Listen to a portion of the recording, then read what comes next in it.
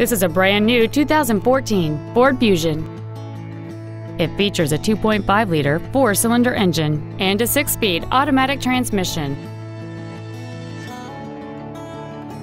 Features include traction control and stability control systems, a power driver's seat, cruise control, a six-speaker audio system, front side impact airbags, air conditioning, a split folding rear seat, a rear window defroster, a CD player, and alloy wheels.